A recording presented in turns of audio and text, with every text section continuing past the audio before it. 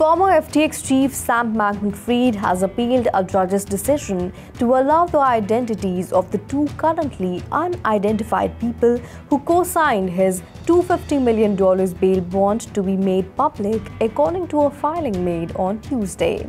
It was already known that Bankman-Fried's parents also co-signed the bond, but the other names were kept private. US District Judge Lewis Kaplan ruled early last week in favor of four separate petitions by a number of news organizations seeking the names of these individuals who signed onto the bond earlier this month. Now that an appeal has been filed, Kaplan's ruling has been stayed until at least February 14th. US prosecutors have asked the fraud cases against FTX founder Sam Bankman-Fried not proceed until the conclusion of government's criminal case against him, according to court documents. Damian Williams, the main prosecutor overseeing the criminal case against Bankman-Fried, wrote that the Commodities Future Trading Commission and the Securities and Exchange Commission had both consented to the stay. Bankman-Fried, former Alameda Research CEO Caroline Ellison, and FTX co-founder Gary Wang have also agreed to stay, according to the court filing. The outcome of the criminal case will likely have a significant impact on the civil cases, he said in the Tuesday court filing. Williams also said he was concerned Bankman-Fried's legal team could use the civil cases discovery process to bolster its defense in the criminal case. The SEC has charged Bankman-Fried with scheming to defraud FTX investors.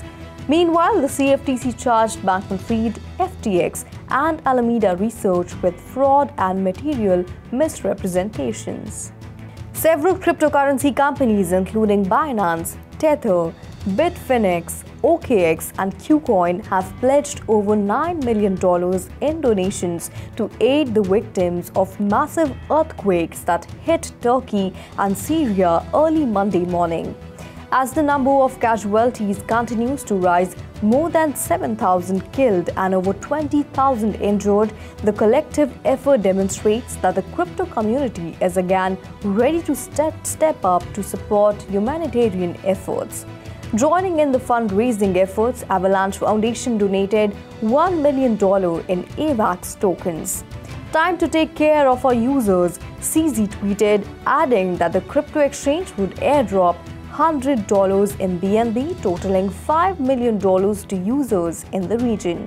Soon after news broke of the earthquake and the staggering number of lives lost, Bitfinex, Keith Synonym, Tether, and other companies announced a collective pledge of 5 million Turkish lira, around $266,000 to go towards the earthquake recovery effort. Tron founder Justin Sun also pledged to donate $1 million in TRX from the Huobi Global Cryptocurrency Exchange. That's all in the news today. This is me, Vishakha, signing off. For more such updates, keep watching 3.0 TV. Do like, share, and subscribe to our channel.